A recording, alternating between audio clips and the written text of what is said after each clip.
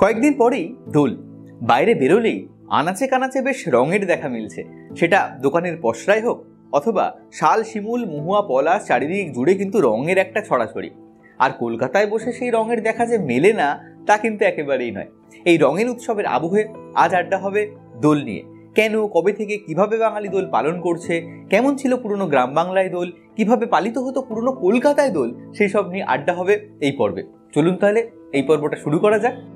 আগে দোল দুর্গোৎসব পালিত না হলে ধনী বাঙালির আভিজাত্য থাকতো না। লক্ষ্য করুন, এখানে দুর্গোৎসবের সঙ্গে কিন্তু একত্রে উচ্চারিত হচ্ছে দোল কথাটা। তার মানে দোল এই যে উৎসবটার গুরুত্ব, সেটা কিন্তু দুর্গোৎসবের থেকে কিছুমাত্র কম ছিল না, অন্তত আগে তো ছিলই না। কিন্তু এই দোল বাঙালি কবে থেকে উদযাপন করছে? দেখুন, এতবার দোলের কথা বললেও হোলির নাম কিন্তু একবার উচ্চারণ করিনি। তার কারণ দোল এবং হোলি এই দুটো আমাদের কাছে সম্পূর্ণ আলাদা দুটো উৎসব। আমরা ফাল্গুন মাসের পূর্ণিমায় দোল পালন করি, তার পরের দিন সারা ভারতবর্ষ জুড়ে পালিত হয় হোলি। তবে এটা অস্বীকার করার কোনো জায়গা নেই যে হোলি অনেক পুরনো প্রথা বা অনেক পুরনো একটা উৎসব। দোল বাঙালি অনেক পরে পালন করছে, সেই গল্পে আমরা পরবর্তীকালে আসছি, এরপরে সেটা বলব। তো হোলিকে যদি আমরা দেখি, আমরা যদি পিছনে ফিরে যাই, মোটামুটি যীশুখ্রিস্টের জন্মের তিনশো বছর আগেও আমরা একটা ভাস্কর্যে হোলি উদযাপনের ছবি পাচ্ছি। বা আমরা যদি আরও পিছনে ফিরে যাই, পুরনো যে সংস্কৃত সাহিত্য, সেখানে আমরা হোলির উল্লেখ বারবার পাচ্ছি। আমরা পুরাণে হোলি নিয়ে বিভিন্ন তথ্য বা বিভিন্ন কাহিনী পাচ্ছি। এবং আমরা যদি জিওগ্রাফিক্যাল ডিস্ট্রিবিউশন মানে তার ভৌগোলিক ব্যাপ্তি দেখি, আমরা দেখব উত্তর ভারত থেকে শুরু হলেও সেই হোলি কিন্তু সারা ভারতবর্ষ জুড়ে পালিত হয়। তার মানে হোলি দোলের থেকে অনেক পুরনো এবং তার ব্যাপ্তি অনেক বেশি। তবে এটা অস্বীকার করার কোনো জায়গা নেই যে দোল সম্পূর্ণ বাঙালির নিজস্ব একটা উৎসব। আর এটাও বলতে হবে যে বাঙালি যে দোল উদযাপন করে, তার পিছনে কিন্তু রয়েছে হোলির অবদান। তার মানে কি এটা বলা যায় যে হোলি পরবর্তীকালে দোলে রূপ পেয়েছে? না, সেটা বলা বোধ হয় ঠিক হবে না। তার কারণ হোলির সঙ্গে কৃষ্ণের যোগাযোগ থাকলেও শ্রীকৃষ্ণ জবে থেকে পপুলার হলেন বা শ্রীকৃষ্ণের যে কথা বা কাহিনী, সেটা জবে থেকে ভারতবর্ষের সর্বত্র ব্যাপকভাবে প্রভাব বিস্তার করল, তার অনেক আগে থেকে কিন্তু হোলি পালিত হয়। তার কারণ পরে কখনো যখন হোলির ইতিহাস নিয়ে আমরা কথা বলব, সেই সময় নয় ব্যাখ্যা করব।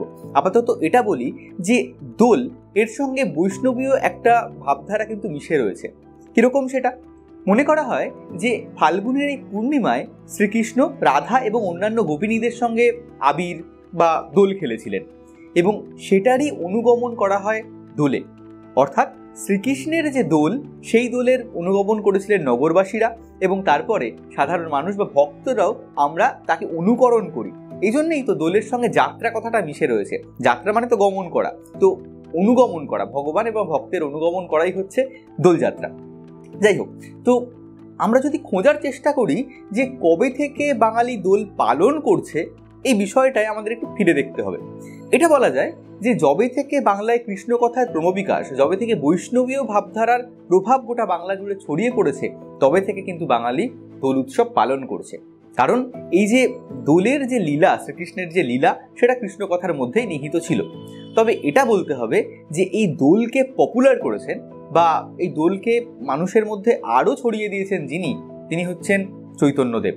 আমরা জানি যে মধ্যযুগে চৈতন্যদেবের একটা অসাধারণ প্রভাব রয়েছে। এবং আজকের দিনে দাঁড়িয়ে হয়তো আমরা তাঁর গুরুত্ব অনুধাবন করতে পারি না, কিন্তু একটা কথা আপনাদের বলতে পারি যে এ পর্যন্ত বা এ যাবৎ কালে বাঙালির সর্ববৃহৎ যে সামাজিক বা ধর্মীয় আন্দোলন যদি কিছু হয়ে থাকে, সেটা কিন্তু চৈতন্যদেবের করা ভক্তি আন্দোলন। ইতিহাসও সেই জন্য এই জিনিসটা হয়তো আমরা ছোটবেলা থেকে পড়ে এসেছি। তো এই চৈতন্য বাঙালির কাছে ধর্মীয়ভাবে, সামাজিকভাবে অত্যন্ত গুরুত্বপূর্ণ একজন ব্যক্তি, যাকে অস্বীকার করার কোনো জায়গায় কিন্তু আমাদের কাছে ধর্মাধর্ম নির্বিশেষে নেই। তো চৈতন্যদেব যখন বৃন্দাবনে গিয়েছিলেন বা তিনি যখন বিষয়টা দেখছেন যে সেখানে কীভাবে দোল পালিত হচ্ছে, তিনি সেটার দ্বারা অনুপ্রাণিত হন এবং বাংলায় এসে তিনি সেই দোল উৎসব প্রচলন করেন। দোলের যে প্রচলন সেটা চৈতন্যদেবী শুরু করলেন কিনা এটা নিয়ে বিতর্ক থাকতেই পারে, কিন্তু এটা নিয়ে কোনো বিতর্ক নেই যে সেটাকে পপুলার করে তুললেন যিনি, তিনি হচ্ছেন চৈতন্যদেব এই যে বিষয়টা যে রাধা কৃষ্ণের প্রেমলীলা এবং তাদের দোল উদযাপন সেটার অনুকরণ করে বৈষ্ণব ভক্ত সমাজের দোল, সেখান থেকে দোল তো প্রচলিত হলোই। তাহলে আজকে যারা বৈষ্ণব নন, তারা যে দোল পালন করেন এই বিষয়টা কেন?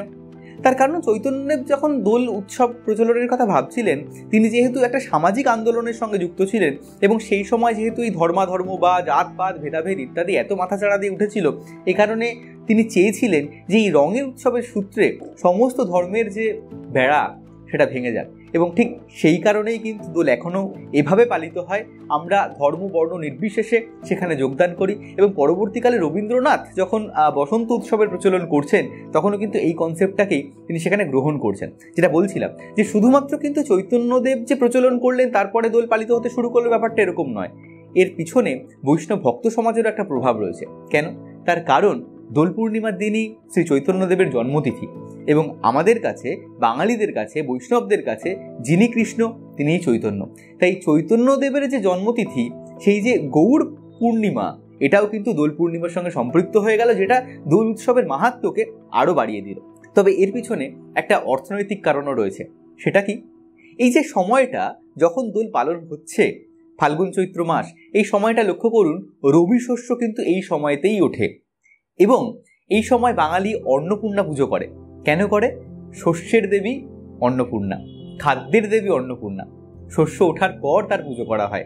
তাহলে এই যে শস্য পাকছে, ফসল পাকছে, এই সময় ঘরে ঘরে একটা নবান্নের মতো আনন্দ উৎসব এবং এই উৎসবটা বাঙালি কিন্তু সবসময় পালন করেছে যতক্ষণ সে কৃষিভিত্তিক সভ্যতায় বিলং করেছে। এখন তার ইম্প্যাক্ট অনেকটা কমে গেছে, কিন্তু এটা অস্বীকার করার কোনো জায়গা নেই যে এই যে সময়টা রবি শস্য পাকার সময়, এই সময়কার যে আনন্দ উৎসব সেই উৎসবের সঙ্গে কোথাও না কোথাও দোল একাকার হয়ে যাচ্ছে এবং তার যে অ্যাকসেপ্টেন্স এটা এর জন্য আরও বৃদ্ধি পাচ্ছে। তাই বছরের, বাংলা বছরের একদম শেষ উৎসব দোল, সেটা উদযাপন করতে বাঙালি কার্পণ্য করেনি। এভাবেই দোল ধীরে ধীরে বাংলার সমাজে পপুলার হয়ে উঠেছে। চলুন এবার দেখা যাক যে পুরনো গ্রাম বাংলায় কীভাবে দোল উদযাপন করা হতো। এই প্রসঙ্গে আপনাদের কলকাতারই একটা গল্প বলি।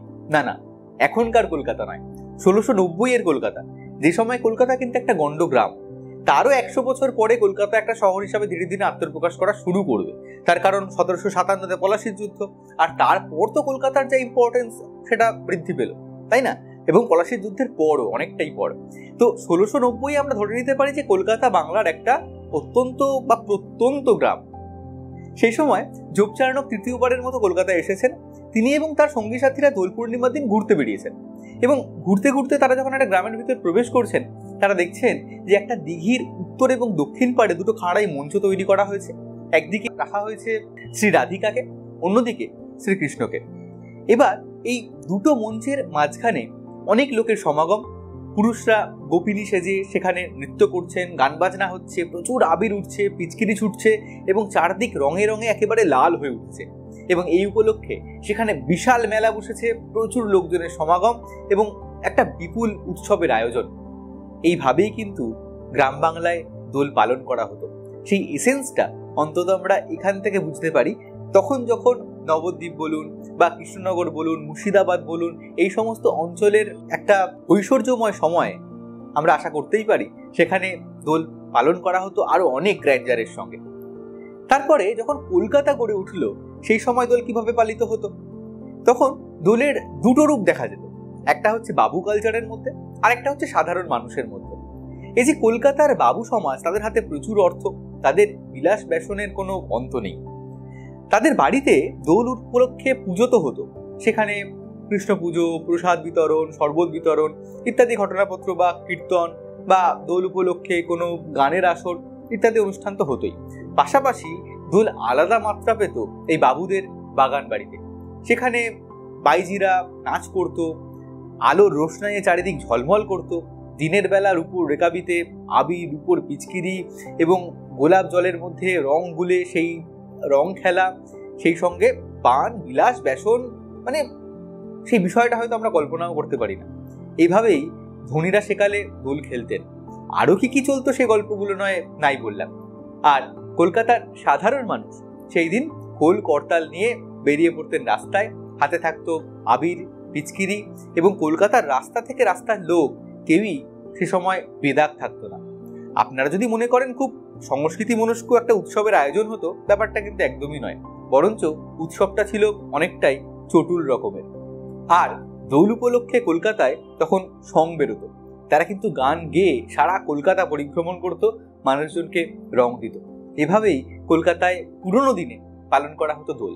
আমরা যখন ছোট ছিলাম, আমরাও কিন্তু তখন বালতি ভরে পিচকিরি নিয়ে একদম দরজার সামনে দাঁড়িয়ে থাকতাম, কে কখন যাবে তার গায়ে রং দেবো। কিন্তু এখন এই যে দোল খেলার প্রচলন, সেটা অনেকটাই যেন ফিকে হয়ে গেছে। এই যে উন্মাদনাটা, সেটা যেন অনেকটাই হারিয়ে গেছে। এখন ওই হোলি হে আর সিনেমার গান, এই নিয়েই তো দোল। আপনি ছোটবেলা থেকে কীভাবে দোলকে দেখেছেন?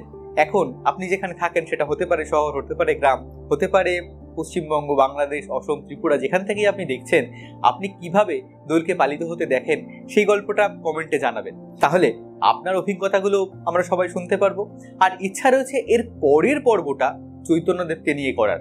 সেটা শুনতে আগ্রহী কিনা, সেটাও জানাবেন, না হলে টপিকটা চেঞ্জ করব। আজকের ভিডিওটা কেমন লাগল, সেটা জানাতে ভুলবেন না। ভিডিওটা ভালো লাগলে অবশ্যই লাইক করবেন ফেসবুকে শেয়ার করতে কিন্তু ভুলবেন না। এভাবেই পাশে থাকবেন। দেখা হচ্ছে পরের পর্বে। ধন্যবাদ।